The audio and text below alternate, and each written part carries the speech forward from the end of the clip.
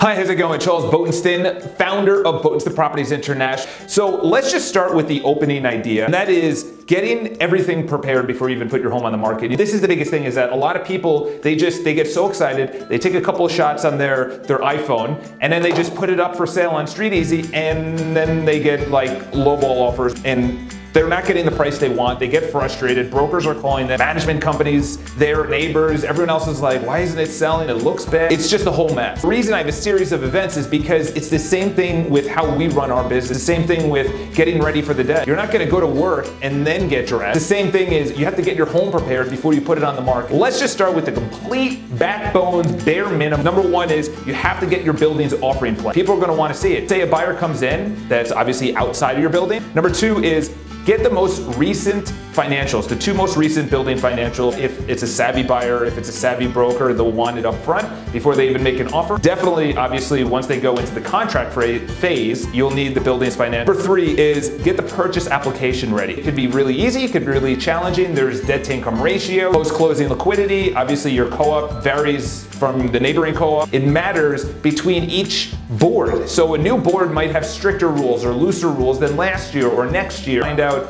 generally, they're not gonna say, if you do this, you will get past the board because the board, they say it's case by case so they protect themselves in liability. The debt to income ratio, usually it's 25%. Post-closing liquidity, it's all of your monthly debt for two years liquid in your bank account. That's just a general rule. Obviously, it's different for each co-op. Get your stock and lease if it's a co-op, and obviously if it's with the bank because you have a mortgage, get the stock and lease ready. Get your attorney ready as well. A Manhattan-based real estate attorney. Not gonna be your, your cousin's deed or will. You want the best. This is one of the areas that a lot of my buyers and sellers, they, they want to save money, but in fact, this is the area that you need to spend the most amount of money because it's your attorney and it gets ugly sometimes. It gets very emotional. Number six, get your co-op open house rules and regulations. Some of them, they actually require someone to be downstairs while someone is upstairs. Require you to register it on Wednesday for a Sunday open house, required only to be an hour.